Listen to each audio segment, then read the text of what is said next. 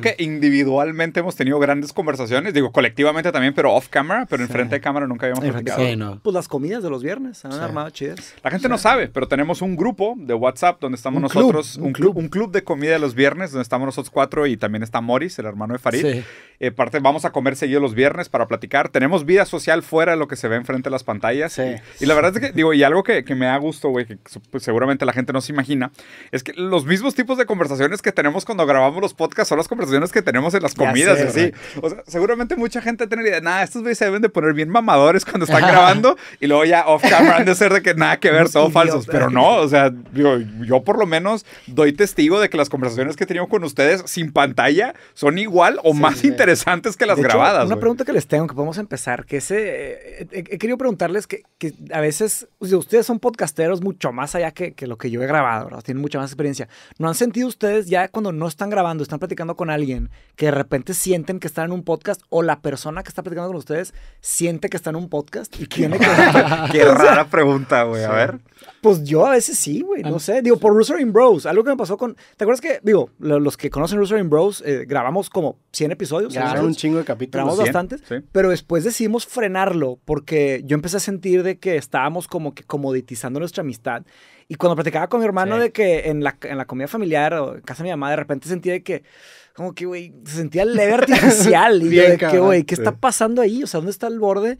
Y le dije, güey, hay que, hay que darle un break. Y, y ya le dimos un break y ahora volvimos a grabar, pero pues ya en otro Sí. sentido. Pero Me, ustedes, me ¿cómo ha sido para pasa, me pasó, fíjate que este fin de semana que fui a la boda de un amigo, de Adrián Adrián Marcelo, Marcelo. Que la Mm. neta sí lo conozco y sí he ido a cenar con él, pero lo conozco, yo creo que me he hablado más con él en un podcast que fuera de un podcast. Y lo considero un buen amigo y está raro porque la, la amistad está documentada. Y luego me tocó también platicar con la mole, que la mole también, la mole lo considero un buen amigo, pero la neta es que la gran mayoría del tiempo en donde hemos estado hablando Grabando. ha sido Sí, grabado, güey. sí, sea, ahora que cotorreas fuera de cámara, como que sí sientes que hay una amistad, pero está raro, güey. Sí. Porque, porque normalmente ya asocia su cara con tengo que ser entretenido porque Claro. estoy en este Porque show. están grabando. Hay un de chorro de gente cámaras. escuchando. a mí lo que me ha pasado es que sí, de repente tengo conversaciones que cuando las termino, sí digo, eso hubiera sido un gran Ah, claro. o un gran podcast. O sea, como que ya Sí. lo ves con esos Está- ojos tu de deseo, ching- tu de deseo está atrapado por la máquina de productividad, güey. Exacto. Todo lo O sea, que hago tengo que monetizarlo. sí, No, no, no, pero no, con el fin, o sea, no lo veía, no lo veía más con, No, con el fin de construcción de carrera. Eh, y también con, Sí. el- con, con algo memorable. Ya. La asociación con algo memorable. De que, güey, esta conversación estuvo tan chido. Porque, güey, eso es lo que estás haciendo cuando grabas un clip, güey. Sí. Estás eternizando el momento. Sí, es una fotografía de un momento, una conversación. Entonces, como que a veces tienes estas conversaciones que al chile, no sé, güey, te causan un chill o algo así. O se dijo algo padre. Y es como que hubiera deseado haber eternizado esa conversación, güey. Sí. Fíjate que. Pero, digo, ah, pero eternizarlo por el hecho de que sabes que sería un clip que le iría bien en redes o por tú tener dentro de tu archivo un- Una copia un- una, una copia que después puedas consultar nada más por, por nostalgia. No, yo, ¿Por qué yo, yo lo veía que- más por la segunda. Porque hay muchas conversaciones, güey, que, que a ti te embolan y te causan algo, pero sabes que no van a ser virales, güey. Mm. Ah, sí. N cantidad, ¿sabes Sí, cómo? claro. Sí. ¿Por, qué no me dijeron que era vestido de negro, güey? Sí, te perdiste el memo. güey. Era- te digo, un poco- préstame una playera de creativo, me cambio. así, Era güey. medio. Tengo ahí la que me regalaste de, De comunismo. de comunismo. Pero no me va a quedar, güey. Digo, gra- grabamos hace poco un proyecto que no creo que todavía no está al aire, no vamos a, a mencionarlo. Sí. Pero en un capítulo salí con tu camiseta De comunista, de güey. comunista, y luego como que te dio cruda y dijiste, vergas, a lo mejor a Roberto le puede llevar la chingada Sí, porque va a güey. salir, Va a caer No lo había salir pensado, güey. Partido Comunista. O sea, hay un capítulo de un proyecto que aún no hemos mencionado en donde va a salir con la camiseta. que aparte te digo la neta, o sea, está chido por dos cosas. O sea, en ese capítulo hablamos sobre la importancia de negociar un buen sueldo, conseguir buenas condiciones laborales. O sea, la neta hablamos de Pues sí temas tenía sentido. pseudocomunistas, ¿sacas? Pero, te o sea, fue sincero, güey. O sea, yo terminé el capítulo y dije, a la verga, güey. O sea, este cabrón es una figura sumamente pública, le va a llover mierda. Y hasta me sentí mal, güey. O sea, porque no, no lo había pensado, obviamente, con ese intuito, ¿no? Pero pues digo, se dio que justo ese, ese capítulo acabamos hablando de cosas de fortalecer la base de negociación de la clase trabajadora y estábamos los dos con una Sí. camisa de comunistas, güey. O sea, lo pueden sacar de contexto. Digo, a ver, no sacarlo de contexto. Lo Pues, pueden poner. Lo pueden poner como es Claro, y sinceramente sí, sí. tiene valor. Pero que no, no lo decía tanto por eso. Pero regresando al tema de los podcasts.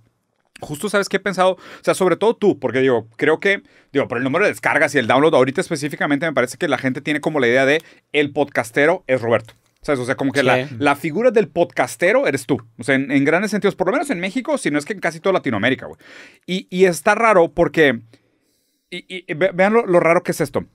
la diferencia entre la idea original de algo, una falsa intención de algo y una simulación de algo que no existe. ¿Ok?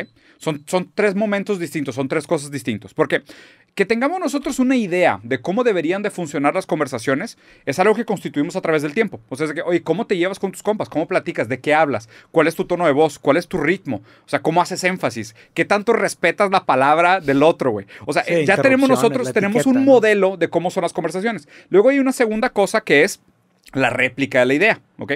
Que es, bueno, pues yo sé lo que debería ser una buena conversación y yo trato de hacer una buena conversación. Pero un podcast no es un intento de una buena conversación. Es una simulación que responde a otras expectativas, ¿no? De que, oye, va a viralizar, va a monetizar, estoy marcando bien las pausas, o sea, estoy respetando el tiempo de los otros, se va a escuchar bien en esto en audio, ¿sabes? O sea, no es, no es una conversación en el sentido ideal, no es el intento fallido de una conversación hecha cotidiano, es, es otra cosa. Es una, es una simulación de una conversación, güey. O sea, y, justo esto es lo que se refiere, por ejemplo, cuando se habla de sociedad del espectáculo. O sea, que ya no tenemos ideas y cosas, sino que tenemos simulaciones de cosas que no existen, güey.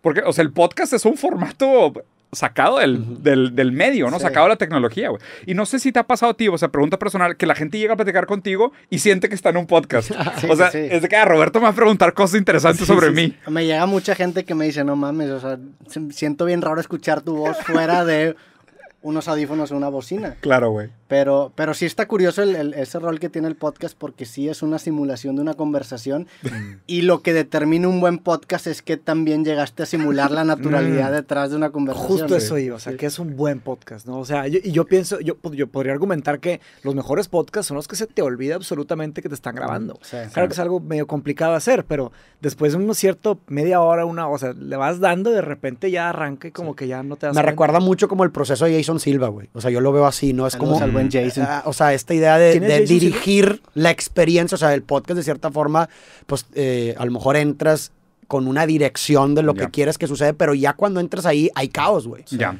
Sí, explico, hay Las un lugar para el caos y como Sí. dices tú, güey, se va, termina llevándote a lugares que no pensaste. Pero eh, tú tienes, creo yo, o en un podcast o lo que lo hace bueno es como tener cierta, es, o sea, sabes más o menos qué elementos van a producir aquellas cosas que van a terminar siendo como que, ah, fue una buena conversación, ¿me Sí. explico? O sea, me- eso es lo que tú haces, ¿no? Se, O se sea, vuelve como un baile, güey. O sea, tú, Exacto. tú, vas, tú tienes una red de protección, pero pues vas intuyendo y vas entendiendo qué rumbo quiere tomar el Correcto. invitado y tú respondes acorde a lo que el invitado te da y estás- te se siente como bailar. Sí. O sea, una buena conversación se siente como una... O sea, te dedicas a bailar danza. profesionalmente. Sí, sí, para mí sí. O sea, yo de repente... Roberto Bailarín. Sí, de repente sí salgo de un podcast y memes, digo, no mames, que, que o sea, fue, un- fue como un baile esta conversación y suena súper mamador, yo lo sé. No, pero sí es. sí, pero o sea, sí, entiendo la metáfora, porque, o sea, estás jugando con, el- con los estímulos del otro. Es que o si- sea, si el no otro lo- ejerce un tipo de presión y quiere guiar, pero obviamente en el baile no, no es como que guías, sino que hay una, una concatenación de intenciones. Que- que el- Y eso se percibe como un ritmo, ¿no? que la diferencia de una entrevista a un podcast es que la entrevista no toma en cuenta el estímulo que te está dando la persona, sino que va bullet por bullet. Tun, tun, tun, tun. El buen podcast, Mm. en teoría, como dice Farid, tiene que empezar con esta estructura, bueno, cuando menos a mi parecer, ¿verdad? tiene que empezar con esta estructura, pero una vez que ya se establece y, y empiezas a recibir nueva información del invitado, vas cambiando y eventualmente vuelve Sí. improvisacional. Retroalimentas. O sea, como que las conversaciones que hemos tenido, nunca hemos respondido a las preguntas. Sí. Ahí nunca. tengo todo el guion de la, del primer episodio que nunca no- tocamos, que no güey. hemos terminado. Que digo, eso, eso es lo que hace que las conversaciones sean interesantes. Y justo es eso, es lo raro, ¿no? O sea, como que el podcast trata de ser una versión de una conversación sin serlo.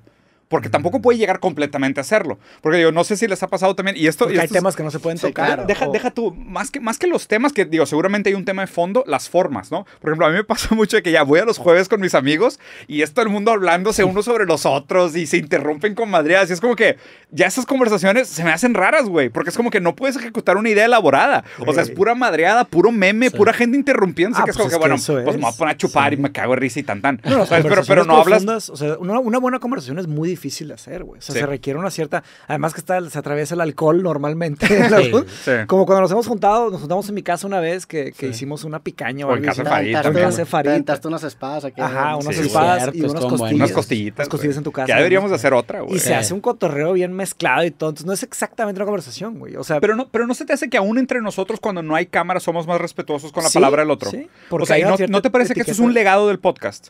Sí, probablemente sí. Porque estamos conscientemente tratando de hacer algo que se escuche bien. Pero cuando estás platicando con alguien, porque ahí está lo de Wittgenstein, ¿no? O sea, que eh, los juegos de lenguaje, ¿no? O sea. Wittgenstein hizo una teoría de, de filosofía del lenguaje, pero después la, como que la destruyó. Él mismo. se destruyó. Él dijo, mi primer ilustro a la verga, no lo lean. Estoy equivocado, déjales digo por qué. Y acabó siendo una teoría. Sí, sí. Y es un, es un filósofo muy técnico, ¿no? Pero no tenemos que meternos a técnico. De hecho, ni sé todo lo técnico que, que- que tiene Wittgenstein, pero él habla sobre los juegos de lenguaje. Que diferentes personas juegan a diferentes juegos de lenguaje. Y lo que hay que entender en una conversación es qué juego está jugando la otra persona. Y, y digo, como es filósofo, el, el juego de la filosofía es encontrar la verdad. O sea, ¿qué es verdad? Entonces hacen argumentos y todo. Pero en una conversación, no siempre el, el juego que se está jugando Es es, quién. O sea, Claro, porque sí, sí, sí. y también, por ejemplo, en el, en el tema de la retórica, que alguien quiere convencer a alguien más, igual están jugando a convencer, no a encontrar la El- verdad. Ya, el juego es el convencimiento. El juego es convencimiento. O sea, el, el juego le llamarías como el objetivo de la conversación. La intención. Hacia, hacia dónde te está dirigiendo la conversación. Exactamente. O presumir, o convencer, o, o son diferentes juegos. Pero ahí O- entonces el, el objetivo es individual, ¿no? Porque yo puedo tener un objetivo, pero tú otro. Exactamente, Claro, exactamente. Pero luego ahí... Entonces ahí no hay, no, no hay sincronía en la el no, juego. gran no, no, mayoría no, de las no, sí. conversaciones son Por- diferentes o sea, juegos. ¿Por qué? Porque la idea del lenguaje es que el lenguaje siempre es intersubjetivo, el lenguaje nunca es individual. Entonces, incluso en el lenguaje hay como virus del deseo del otro. Porque Ok. acuérdate que la palabra te habla. O sea, tú no hablas la Sí, sí, palabra, sí. la palabra te habla a ti. Entonces, incluso aquello que Wittgenstein juzgaba, que de hecho es mucho de donde se desploma la teoría de Wittgenstein. O sea, él mismo, o sea, porque él dio, de- dio lugar al, al objetivismo y al positivismo. Pero pues obviamente eso no deja lugar para el inconsciente. O sea, hay muy poco lugar para el error. Para, oye, pues es que tú sabes lo que quieres. No, claro. Entonces, como tú no sabes lo que quieres, pero realmente no aquello que tú crees que es una intención individual es un juego. Pero es un juego en un metajuego, porque es un metajuego de un lenguaje que no es tuyo. Es un lenguaje que te atraviesa, o es un lenguaje que construimos nosotros intersubjetivamente. Entonces, aun cuando tú crees, es, es que lo raro de esto, ¿no? ¿no? no sé si han visto el meme ese de, tipo, un vato hablando con una chava y el vato hablando con la chava se está imaginando, él hablando con la chava, imaginando lo que la chava quiere que él diga. ¿Sabes? Es de que, Sí, sí, sí. pues es que, justo lo que decías, ¿no? Pues a lo mejor va a haber gente que te va a tratar de convencer, pero tú partes del presupuesto de que yo necesito convencerte de algo. O sea, Sí, ya, ya ahí ya hay un juego. No, y- Es que, eh, a lo mejor él ya tiene una idea formada. Me vale verga lo que digas. No va a cambiar de opinión, sí, sí, güey. tú, hazle, tú haz tu jueguito, güey. Yo aquí ya el- llegué con mis posturas fijas. Y en el podcast, ¿qué se, qué se está jugando? O sea, ¿cuál es el juego del podcast, del lenguaje? O sea, Pero es que fíjate que en el podcast se me hace interesante esta idea de saberse escuchado. O sea, saberse escuchado más allá de las paredes. O sea, no, no, no, no, no, no sientes esa. de que hay un chorro de gente escuchando aquí. Sí, güey. O sea, no sientes esa vibrita de. O sea, el miedo a la cancelación o, a la, o opinión pública, O sea, sí, pero creo que a veces se te olvida, ¿no? O sea, a veces te- se te olvida cuando llegas a un momento de flow en la conversación. conscientemente. Sí, conscientemente se te olvida. ¿Y cuántas veces no ha pasado que después, de la, Sí, sí. después del podcast de que, oye, borra esta parte? La, Sí, la o cruda de podcast. ajá, Digo, Cruda- de podcast. la, cruda de podcast, creo yo, bueno, cuando menos hablando de mi caso, O sea, este podcast es un metapodcast, es un podcast sobre Sí, podcast. sí, sí. güey.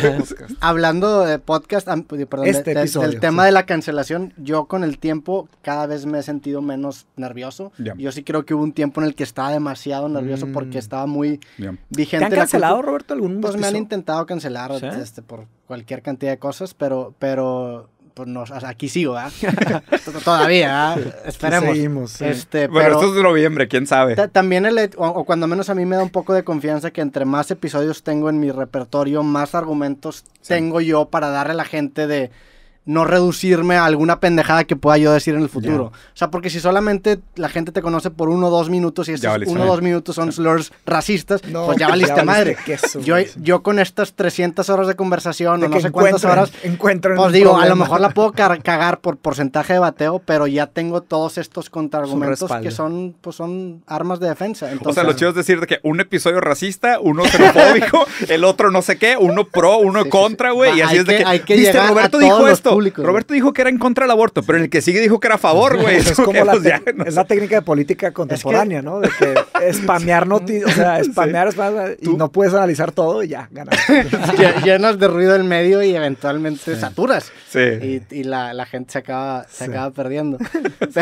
digo, no, no, no va por ahí. Pero también, que- digo, creo yo que el podcast también ha traído un poquito esta parte de hablar mierda, que, que, que creo yo que es algo también sano. Sí. O sea, antes como que me tomaba muy en serio todo lo que decía y ahora no, o sea, ahora hay episodios en donde me pongo borracho, hay episodios en donde Sí. fumo, hay episodios en donde pasan cualquier cosa y creo que la gente Hablas puede entender mamada, sí. que dependiendo del estado puede empezar a decir mamadas. Y, Sí, y sí, también es, es bajar un poquito esas expectativas